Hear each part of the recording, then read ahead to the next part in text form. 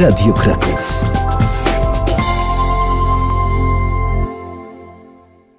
Pierwsze pojawiły się w latach 70. w Holandii, a e, później kwitły jak grzyby po deszczu i są w Kopenhadze, Amsterdamie, Berlinie. A ostatnio, i to pierwsze w Polsce, pojawiły się w Łodzi. Czas na Kraków. Wunerw to jest e, słowo na dziś. Piotr Kemp, dyrektor Zarządu Zieleni Miejskiej w Krakowie w studiu. Dzień dobry. Dzień dobry. Co to jest Wunerw? E, Jest to rodzaj, jak to w prostym tłumaczeniu jest to podworzec, natomiast jest to miejsce, e, w którym e, jest bardzo ograniczony ruch samochodowy lub całkowicie wyłączony. Jest to ulica, która kiedyś była ulicą dopuszczoną do ruchu, natomiast teraz e, staje się ulicą wyłączoną z ruchu tylko i wyłącznie do użytku mieszkańców. To rozumiem, że to jest takie miejsce, gdzie zaciera się e, jasny podział na chodnik, na ulicę, a właściwie ta, ta ulica jest e, przekazana pieszym jak najbardziej, tak? Jakby Dokładnie, to jest przestrzeń. do nich. Mhm. E, myślę, że to, to, to określenie odzyskiwanie przestrzeni dla pieszych w tym wypadku rzeczywiście ma e, pełne uzasadnienie, bo tu mówimy o, o miejscu, które no, kiedyś służyło za e, drogę, potem służyło za bardzo ograniczoną drogę z e, parkowaniem samochodów, no a gdy staje się UNERF-em, właściwie jest całkowicie przeznaczona dla mieszkańców, którzy mogą e, iść tam na kawę, mogą sobie tam usiąść, mogą chwilę poodpoczywać, poczytać książkę i udać się w dalszym kierunku. Taki UNERW ma się w Krakowie pojawić na ulicy Krupniczej od Loretańskiej do Teatru Bagatela. Tam w piątek ma się pojawić także, ma zostać zbudowany mini park. To O? UNERFie, o UNERFie na ulicy Krupniczej od, od wielu lat mieszkańcy mówili, od wielu lat apelowali o Ja to. pamiętam chyba 2012 rok e, rozpoczęły się rozmowy o tym, by Krupniczą zamknąć dla ruchu e, samochodów. Dokładnie, to udało się zrobić. Zikit wyłączył to całkowicie z ruchu. To jest e, przestrzeń, która jest w tej chwili dla mieszkańców, natomiast jest niezagospodarowana. E, oczywiście postawienie tam mikroparku i donic, które tam trafią z ulicy Rajskiej, to jest rozwiązanie takie tymczasowe.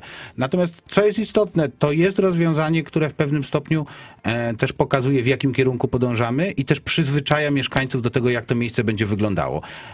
Jesteśmy w Krakowie. Kraków e, wolno przyjmuje nowinki. E, Zawsze są jakieś i uwagi, i protesty ewentualne Kto do tego. pierwszy będzie protestować? Mam nadzieję, że w tym wypadku nikt. A mi się wydaje, i mam takie podejrzenie, że Teatr Bagatela może protestować, argumentując e, tym, że jak zamkniecie ruch i w ogóle tam nie będzie można wjeżdżać, to nie będzie można dowozić na przykład scenografii. Jeśli chodzi o UNERFy, tutaj należy zaznaczyć, to nie są ulice, które są całkowicie wyłączone z ruchu. Tam jest dopuszczony ruch taki, żeby można było coś dowieść, przewieźć. My też e, z Zikitem planując postawienie tego mini parku, e, w ten sposób chcemy go usytuować, żeby on nie blokował tego przejazdu. Jak będzie potrzeba, jak będzie coś do dostarczenia, e, to mniej więcej odzwierciedla ruch samochodowy w parkach gdzie jest możliwość dowiezienia czegoś do kiosków, które tam sprzedają, e, jest możliwość dowiezienia sprzętu, jest możliwość wjazdu ciężkiego sprzętu, który wykonuje pracę, kosi, sprząta, wywozi śmieci.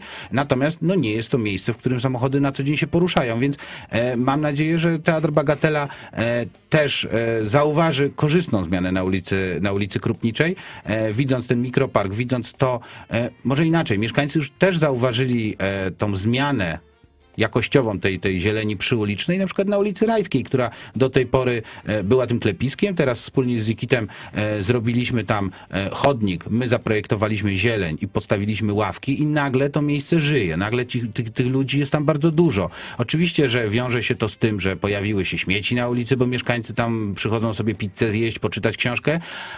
Zdajemy sobie z tego sprawę, natomiast jest to warte na pewno tego poświęcenia, dodatkowego sprzątania, utrzymywania, żeby ta przestrzeń była dla mieszkańców.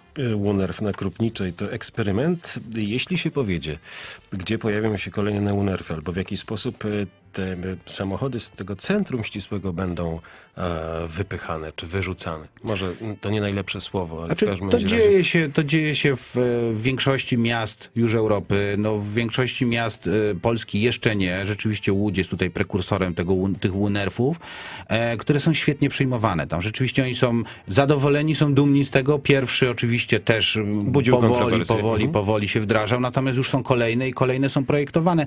Więc myślę, że tutaj wspólnie z Zikitem będziemy też takie miejsca wyznaczać, takie ulice, e, że tak powiem, ograniczać w ruchu samochodowym, odzyskiwać je dla mieszkańców. E, I ta tendencja zostanie. No, od czegoś trzeba zacząć. Piotr